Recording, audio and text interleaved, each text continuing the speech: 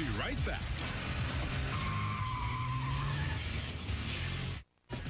And now back to the show. Hey, fellas.